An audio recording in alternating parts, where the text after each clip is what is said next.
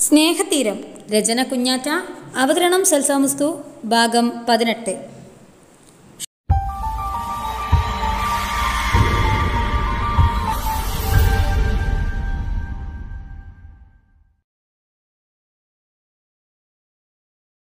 ശ്രീയുടെ വീട്. രാവിലെ പല്ലുമുറ്റത്തെ പൈപ്പിൽ ചുവട്ടിൽ നിന്ന് പല്ല് തേക്കുകയാണ് അജു. കുറച്ച് മാറി ശ്രീയുമുണ്ട്. പെൺകുട്ടികൾ കുളത്തിലേക്ക് പോയിട്ടുണ്ട് കുളിക്കാൻ. കുറേ നേരമായി. ഇപ്പോഴും അവറ്റകളെ നീരാട്ട് കഴിഞ്ഞിട്ടില്ല. എല്ലാവരും ഒരുപാട് ഹാപ്പിയാണ്. കാരണം ഇന്ന് ആമി വരും. പിന്നെ ഫുൾ ജഗ പൊഹ. നേരത്തെ എണീറ്റ് അമ്പലത്തിൽ പോകുന്നത് ഇവിടുത്തെ പതിവാണ്. അതുകൊണ്ടാണ് എല്ലാം നേരത്തെ എണീറ്റത്. അല്ലെങ്കിൽ മൂട്ടിൽ വെയിലടിച്ചാൽ പോലും എണീക്കാൻ അവറ്റകൾ പല്ലുതേപ്പൊക്കെ കഴിഞ്ഞ് ശ്രീയുടെ കൂടെ കുളിക്കാൻ പോയി കുളത്തേക്ക്. ബാക്കി നാല് സ്ഥലം വിട്ടിട്ടുണ്ട് അവിടെ നിന്ന്. കുളിയൊക്കെ കഴിഞ്ഞ് തലേന്ന് തോർത്തി അകത്തേക്ക് പോകുമ്പോൾ ഡൈനിങ് ഹാളിലേക്ക് ബഹളം കെട്ട് അങ്ങോട്ടേ പോയി. നാലും കൂടെ അവിടെ വെട്ടി വിഴുങ്ങുന്നുണ്ട്. പിന്നെ ഒന്നും നോക്കിയില്ല. തോർത്ത് തോളിലോട്ടിട്ട് കയ്യും കേകി അവിടെ പോയങ്ങിരുന്നു. ദേവമേ ഞങ്ങൾക്ക് വിളിമ്പി തന്നു. ഞാൻ അസൽ പുട്ടും കണ്ടതേയും അത് കഴിച്ചുകൊണ്ടിരിക്കുമ്പോൾ എവിടുന്നോ ഇങ്ങോട്ട് ലുക്ക് വരുന്ന പോലെ തോന്നി. നോക്കിയപ്പോൾ വാവപ്പെണ്ണ് വായും പൊളിച്ച് എന്നെ നോക്കി ഇരിക്കുകയാണ്. എന്താണോ ഇത്ര നോക്കാൻ? എന്റെ സൗന്ദര്യം കൊണ്ടാകും. ഞാൻ പുരികമുയർത്തി എന്താന്ന് ചോദിച്ചു. അവളതിന് എന്റെ നെഞ്ചിലേക്ക് നോക്കി. ഹൈവ ഞാൻ ഷർട്ട് ഇട്ടിട്ടില്ല. എന്റെ ഹാർട്ടിലെ ടാറ്റു കണ്ട് കിളി പാറിയതാണ് ആ പുള്ളിക്കാരി. അത് കണ്ട് ആരായാലും കിളി പാറും. വലിയൊരു ചെക്കൻ നെഞ്ചത്ത് മിക്കി മൗസിനെ ടാറ്റ് അടിച്ചാൽ ആരായാലും വാ പൊളിച്ചു പോകൂലേ. ആ അത്രേ ഇവിടെയും സംഭവിച്ചോളൂ ഹൈനാണ് ആ പെണ്ണ് ഇങ്ങനെ നോക്കണേ. ബാക്കിയുള്ളവർക്ക് വലിയ അത്ഭുതമൊന്നുമില്ല. അവരാ ടാറ്റ ആദ്യം കണ്ടതാണല്ലോ. ഞാൻ അവളെ നോക്കി നന്നായി ഒരു ചിരി അങ്ങ് കൊടുത്തിട്ട് പുട്ടടി കണ്ടിന്യൂ ചെയ്തു. മക്കൾ തിരിച്ചു പോക്കോ? ഇപ്പം അച്ഛന് കുഴപ്പമില്ല. ബാലൻ തന്റെ അടുത്തിരിക്കുന്ന പാച്ചുവിനോട് പറഞ്ഞു. പാപ്പ കിടന്ന് ഉറങ്ങിക്കോ ഞാനെങ്കിൽ ഉച്ചയ്ക്ക് തിരികെ പോകും. പിള്ളേരൊക്കെ ശ്രീയുടെ വീട്ടിലാണ്. വിച്ചയോട് ഒറ്റക്കായി പോകും. മക്കൾ പോയി ബ്രേക്ക്ഫാസ്റ്റ് കഴിച്ചോട്ടോ എന്ന് പറഞ്ഞ് ബാലൻ അവരെ പറഞ്ഞു വിട്ടു. ബ്രേക്ക്ഫാസ്റ്റൊക്കെ കഴിഞ്ഞ് അവർ പോകാനുള്ള തയ്യാറെടുപ്പ് തുടങ്ങി. അവർ റൂമിലിരിക്കുമ്പോഴാണ് അവർക്ക് അർജുന്റെ കോൾ വന്നത്. ആമിയും വിച്ചും ഒരുമിച്ചായിക്കോട്ടെ എന്ന് കരുതി അർജുൻ മേഘയുടെ ഫ്ലാറ്റിലാണ് ഇന്നലെ നിന്നത് എന്നവൻ പറഞ്ഞു. ഫോൺ കട്ട് ചെയ്ത് അവർ അവരുടെ പണികൾ ചെയ്തു. രാവിലെ എണീറ്റപ്പം വിച്ചു അടുത്തില്ലായിരുന്നു. അടുക്കളയിൽ നിന്ന് ശബ്ദം കേട്ട് അങ്ങോട്ട് പോയി നോക്കിയപ്പോൾ ദേ നിൽക്കുന്നു അർജുൻ സെറ്റായി വിച്ചു ഉണ്ട് കൂടെ രണ്ടും കൂടെ വെള്ളപ്പം ഉണ്ടാക്കുക. ഞാൻ അവിടുത്തെ സ്ലാബിൽ കയറിയിരുന്നു. ഒരു വെള്ളപ്പം കയ്യിലെടുത്തതും അർജുൻ അത് വാങ്ങിച്ച് അവിടെ തന്നെ വെച്ചു. പോയി പല്ല് തേക്കാമി അർജു നിന്റെ ഓർഡർ വന്നു. ഞാൻ മുഖം ഉറപ്പിച്ച് വിച്ചുവിനെ നോക്കി. എന്നെ നോക്കണ്ട. വിട്ടോ വിട്ടോ. പല്ല് തേക്കാതെ ഇങ്ങോട്ട് വരേണ്ട. വിച്ചുവും പറഞ്ഞു. അത് കേട്ട് ഞാൻ ചവിട്ടിത്തുള്ളി ബ്രഷ് ചെയ്യാൻ പോന്നു. പല്ലൊക്കെ തേച്ച് ഹാളിൽ ഫുഡിനായി വെയിറ്റ് ചെയ്തു. വിശന്നിട്ട് വയറൊക്കെ ചീത്ത വിളിക്കാൻ തുടങ്ങി. ഞാൻ അവറ്റകളെ രണ്ടിനെയും പ്രാഗി അവിടെ ഇരുന്നു. അല്ലാണ്ട് എന്നാ ചെയ്യാനാ? കുറച്ച് കഴിഞ്ഞ് ഫുഡുമായി അവർ വന്നു. വെള്ളയപ്പം തേങ്ങാപ്പാലും. ഞാൻ അവരെ നോക്കാതെ കഴിക്കാൻ തുടങ്ങി. വയറ് നിറച്ചൊരു ഏമ്പക്കം വിട്ട് തല ഉയർത്തിയപ്പോൾ മുന്നിലത്തെ നാല് ബുൾസൈ കണ്ണുകൾ. ഞാനത് മൈൻഡ് ചെയ്ത് റൂമിലേക്ക് പോയി പാക്കിംഗ് തുടങ്ങി. ഇനി കുറേ ദിവസം ശ്രീയുടെ വീട്ടിൽ അടിച്ചു പൊളിക്കണം. മക്കളെ എപ്പോഴാണ് ആമിമോൾ വരുന്നേ? സിറ്റൗണ്ടിൽ അവർ വരുന്നത് നോക്കിയിരിക്കുന്ന ബാക്കിയുള്ളവരുടെ അടുത്ത് ദേവമാവ് ചോദിച്ചു. ഇപ്പം വരുമേ അവർ അവിടെ സംസാരിച്ചിരിക്കുമ്പോൾ അങ്ങോട്ട് വിച്ചുവിന്റെ കാറ് വന്നു. അതിൽ നിന്ന് അവർ മൂന്ന് പേരും ഇറങ്ങി. ആമിയെ കണ്ടപാടെ ബാബ ഓടിച്ചെന്ന് അവളെ കെട്ടിപ്പിടിച്ചു.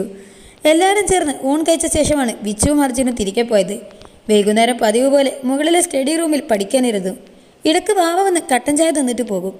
പഠിപ്പൊക്കെ കഴിഞ്ഞ് മുറിയിലിരിക്കുകയാണ് ആറെണ്ണവും. മറ്റന്നാൾ എക്സാം അത് കഴിഞ്ഞാൽ പിന്നെ ഓണം അവധി പിന്നെ കോളേജിൽ ഓണം സെലിബ്രേഷൻ നമുക്ക് പൊളിക്കണം. അജു വലിയ കാര്യമായി പറഞ്ഞു. അതെ എക്സാം കഴിഞ്ഞ് പിറ്റേ നമുക്ക് ഷോപ്പിങ്ങിന് പോകണം കേട്ടോ. ചേട്ടന്മാരൊക്കെ ഓണത്തിന് ഇങ്ങോട്ട് വരുന്ന്. ശ്രീയേട്ടനോട് പറയുന്നത് കേട്ടു. നമുക്ക് പൊളിക്കാന്നേ. ഇപ്പം എനിക്ക് ഉറക്കം വരുന്നു. ആമി അതും പറഞ്ഞ് ലൈറ്റ് അണച്ച് കിടന്നു. ബാക്കി അഞ്ച് കൂടെയും. രണ്ട് ദിവസം ഫുൾ ടൈം പഠിപ്പായിരുന്നു. ഇന്ന് എക്സാം കഴിയുന്ന ദിവസമാണ്. എല്ലാവരും രാവിലെ തന്നെ അമ്പലത്തിലൊക്കെ പോയി പ്രാർത്ഥിച്ചു. ശ്രീയേട്ടന്റെ കാലം ഞങ്ങൾ കോളേജിലേക്ക് പോയത്. എക്സാം കഴിഞ്ഞ് ഗ്രൗണ്ടിലെ ചുവന്ന ചുവള്ള ആ മരത്തിന് താഴെ ഇരിക്കുകയാണ് നമ്മുടെ പിള്ളേർ അവരെ കണ്ട കോഴി കൂടെ തുറന്ന് വിട്ടതാണെന്ന് കരുതും. അത്രയ്ക്ക് കഷ്ടമാണ് അങ്ങനെ ഇരിക്കുമ്പോൾ അങ്ങോട്ട്. അവിനാശ് വന്നു. കൂടെ അവന്റെ വാളുകളുമുണ്ട് അവൻ നേരെ വന്ന് ആമിയുടെ അടുത്തിരുന്നു. എങ്ങനെ ഉണ്ടായിരുന്നു എക്സാമൊക്കെ അവൻ അവളോട് ചോദിച്ചു.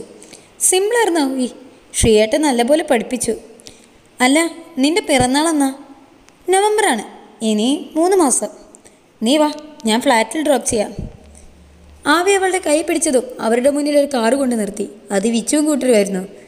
കണ്ടാവി ഞങ്ങൾക്ക് പോകാനുള്ള വണ്ടി എത്തി. അപ്പോൾ ബൈ എന്ന് പറഞ്ഞ് അവൾ വേഗം കാറിൽ കയറിയിരുന്നു. ബാക്കിയുള്ളവർ അതിൽ കയറിതു വിച്ച് വണ്ടി ഷീയുടെ വീട്ടിലേക്ക് വിട്ടു. എന്നു മുതൽ ഓണം അവസാനിക്കുന്നത് വരെ ഇനി അവന്മാരും കാണും അവിടെ. അവി അവർ പോകുന്നത് നോക്കി പല്ലും കടിച്ചു നിന്നു. അത് കണ്ട അഖിൽ അവന്റെ തോളിൽ കൈവച്ചു.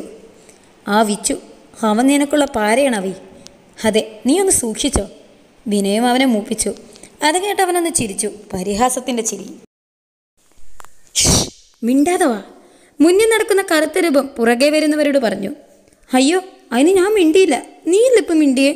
പുറകെ വരുന്നവൻ പറഞ്ഞു ഓ നീ ഇങ്ങ് വന്നേ എന്നും പറഞ്ഞ് ആദ്യത്തെ ആൾ അവനെ ഇടനായിലേക്ക് വലിച്ചു. എന്നതാ? അവൾ ദേഷ്യത്തോടെ ചോദിച്ചു. എന്നും പറഞ്ഞ് അവിടെ നിൽക്കുന്ന വിച്ചുവിനെയും അർജുനെയും ശ്രീയെയും കാട്ടിക്കൊടുത്തു.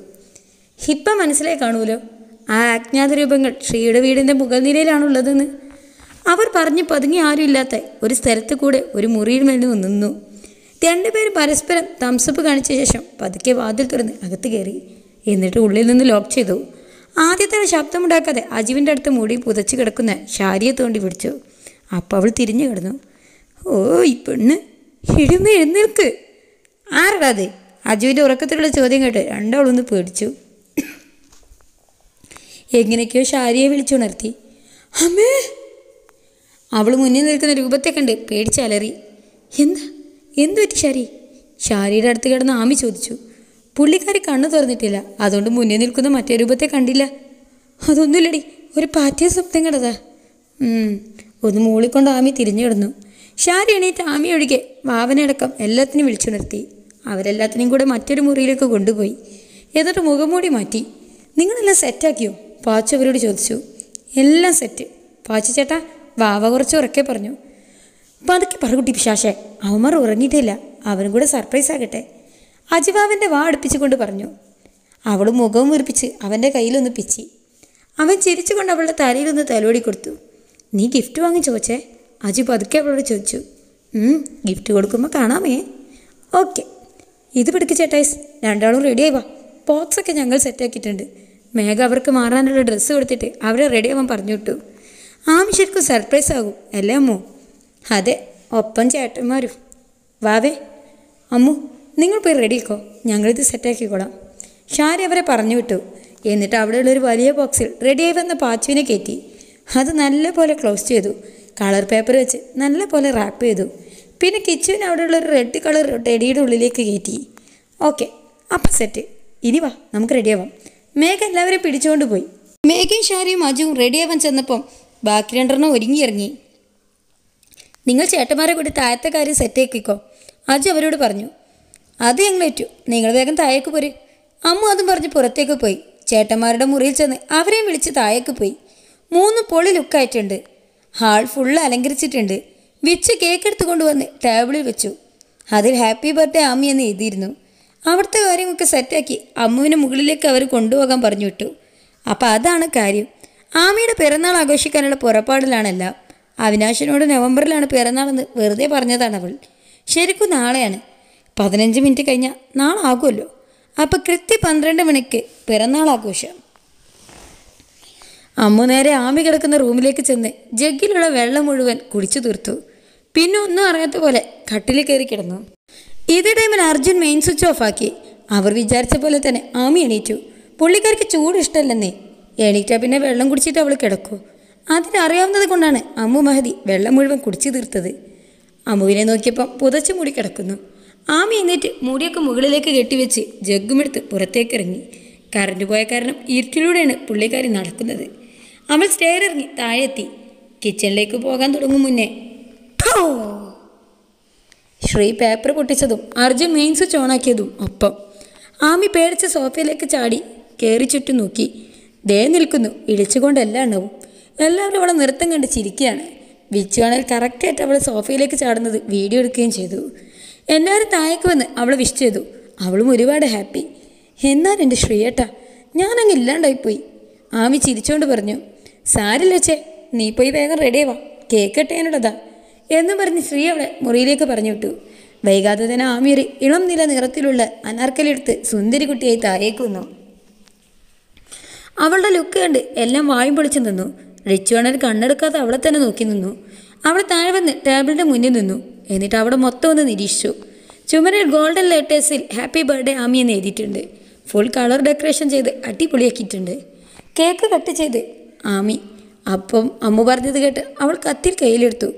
എല്ലാവരും ബർത്ത്ഡേ സോങ് പാടി. അവൾ കേക്ക് കെട്ടിയത് അതിൽ ഫസ്റ്റ് പീസ് അമ്മുവിന് കൊടുത്തു. അമ്മ തിരിച്ചു. പിന്നെ വിച്ചുവിനും ബാക്കിയുള്ളവർക്കൊക്കെ കേക്ക് കൊടുത്തു. എല്ലാവരും സൂക്ഷിച്ചു വെച്ച ഗിഫ്റ്റ് അവർക്ക് കൊടുത്തു. വാവ കൊടുത്തത് ഒരു ബ്രേസ്ലെറ്റ് ആയിരുന്നു. അത് ആമയ്ക്ക് ഒരുപാട് ഇഷ്ടപ്പെട്ടു. അവൾ മാവയെ കെട്ടിപ്പിടിച്ചു. അമ്മു മേഘയും ഷാരിയും അജുവും ഒന്നും തരാത്തത് കണ്ട് അവൾ അവരെ നോക്കി. നിങ്ങളെന്ന് ഗിഫ്റ്റ് ഒന്നും തരാത്തെ? ആമി പരിഭവത്തോടെ ചോദിച്ചു. ജസ്റ്റ് വെയിറ്റ് ആൻഡ് സി എന്ന് പറഞ്ഞ് അജു കൂട്ടർ മുകളിലേക്ക് കയറിപ്പോയി. തിരികെ വരുമ്പോൾ അവരുടെ കയ്യിൽ ആ വലിയ ബോക്സ് ഉണ്ടായിരുന്നു. ഒപ്പം ടെടിയും ഇത് രണ്ടുമാണ്. നിനക്കുള്ള ഞങ്ങളുടെ ഗിഫ്റ്റ് തുറന്നു നോക്ക്. ആമി സംശയത്തോടെ അതിനെ നോക്കി. ഷീയുടെ അർജുനെ വിച്ചുവിനെ ഇന്ന് ഇത് തന്നെ എന്ന രീതിയിൽ അതിലേക്ക് തന്നെ നോക്കി. ഓപ്പൺ ചെയ് എന്ന് പറഞ്ഞ് ഷാരി അവളുടെ കൈ അതിലൊരു റേപ്പെടുത്ത് കൊടുത്തു. അത് വലിച്ചതും വലിയ ശബ്ദത്തോടെ അത് തുറന്നു. അതിൽ നിന്ന് പാച്ചു ചാടി വന്ന് ആമിയെ കെട്ടിപ്പിടിച്ചു. ഒരു നിമിഷം എന്താ നടന്നതെന്ന് മനസ്സിലാകാതെ ചേട്ടായസും ആമിയും നിന്നു. പാച്ചേട്ടാ വാട്ട് ഇസ് സർപ്രൈസ് ആമി അവനെ കെട്ടിപ്പിടിച്ചു. അവ മാത്രമല്ല ഞാനും ഉണ്ടേ ടെഡി ബിയറിനുള്ളിൽ നിന്ന് ഇറങ്ങി വന്ന് കിച്ചുവും പറഞ്ഞു. അവൾ ഒരുപാട് സന്തോഷത്തോടെ അവരെ രണ്ടുപേരെയും കെട്ടിപ്പിടിച്ചു. കേക്കൊക്കെ കഴിച്ചു കഴിഞ്ഞ് അവിടെ മൊത്തം ക്ലീൻ ചെയ്ത് എല്ലാം കൂടെ റൂമിലേക്ക് പോയി. ഭാവിയും ഷാരിയും മേഘയും ഒക്കെ ബെഡ് കണ്ടപാടെ ഷവായി അജു അമ്മു ആമിയുടെ പുറകെ ബാൽക്കണിയിലേക്ക് പോയി. ഡാ നിങ്ങളിപ്പോൾ എത്തിയുടെ വിച്ച് ഒരുപാട് സന്തോഷത്തോടെ ചോദിച്ചു. ഞങ്ങൾ നൈറ്റ് എട്ട് മണിയായപ്പോൾ ഫ്ലൈറ്റ് എത്തി. ഷാരിയെ വിളിച്ചപ്പോൾ നിങ്ങളെല്ലാവരും കൂടെ അവളുടെ പിറന്നാൾ ആഘോഷിക്കാൻ പോകുക എന്ന് പറഞ്ഞു. ഞങ്ങളില്ലാണ്ട് നിങ്ങളങ്ങനെ ആഘോഷിക്കണ്ടെന്ന് കരുതി ഞങ്ങളിങ്ങ് പോന്നു. ബാക്കി പ്ലാനൊക്കെ ഞങ്ങളുടെ ഭാവി ഭാര്യമാർക്കുള്ളതാ. പാച്ചുവിന്റെ തുടർച്ച എന്നോണ കിച്ചു പറഞ്ഞു. "ഉം, നിങ്ങളും കൊണ്ട് വന്നത് നന്നായി. ഇത്രയും ദിവസം എനിക്ക് പറയാൻ അവസരം കിട്ടിയില്ല. നാളെ എല്ലാം നിങ്ങളോട് പറയാം. മഹിയങ്കളുടെ മരണകാരണം ഒപ്പം മറ്റു ചിലതും. വിച്ച് ഗൗരവത്തിൽ പറഞ്ഞു. എന്നിട്ട് അവൻ ബാൽക്കണിയിലേക്ക് പോയി. ബാക്കിയുള്ളവർ അവൻ പറയാൻ പോകുന്ന കാര്യം എന്താവുമെന്ന് ഓർത്ത് കറങ്ങുന്ന ഫാനും നോക്കി കിടന്നു. ആക്ച്വലി ഞാനും അങ്ങനെ തന്നെ. എന്തേലും മനസ്സിൽ കയറിയ പിന്നെ ഫാൻ കറങ്ങുന്നത് നോക്കി അങ്ങനെ കിടക്കും. ആമി കൊച്ചെ മൂഡ് ഓഫ് ആണല്ലോ. ഹജു അവളുടെ കയ്യിൽ തയ്യ വെച്ച് പാർ ചോദിച്ചു അതെടാ ആ അവിനാഷ് അവൻ എന്റെ പപ്പയെ കൊന്നവന്റെ മകനാണ്. അവൾ ദൂരെ നക്ഷത്രങ്ങളെ നോക്കി പറഞ്ഞു. നീ എന്താ അമ്മി പറയുന്നത് അമ്മ ആദ്യയോടെ ചോദിച്ചു. അജുവിന്റെ മുഖത്ത് ഞെട്ടലുണ്ട്. അതേടി എന്റെ പപ്പയെ കൊന്ന ഇന്ദ്രന്റെ മകനാണ് അവൻ. മാത്രമല്ല അവന്റെ പപ്പ ഇപ്പം എനിക്ക് വേണ്ടിയുള്ള തിരച്ചിലാണ്. ആമി അത് നിർത്തി എന്നിട്ട് അവരെ നോക്കി തുടർന്നു. നീ ഓർക്കുന്നില്ലേ? കോളേജിൽ വെച്ച് ഞാൻ അവനോട് നവംബറിലാണ് പിറന്നാളെന്ന് പറഞ്ഞത്. അവ അവർ രണ്ടുപേരും ഒരുപോലെ മൂളി. അത് ഞാൻ മനഃപൂർവം പറഞ്ഞതാ. അവനറിയാം ഞാനാണ് അവന്റെ പപ്പ അന്വേഷിക്കുന്ന ആളെന്ന്. അത് കൺഫേം ചെയ്യാനാണ് അവൻ അങ്ങനെ ചോദിച്ചത്.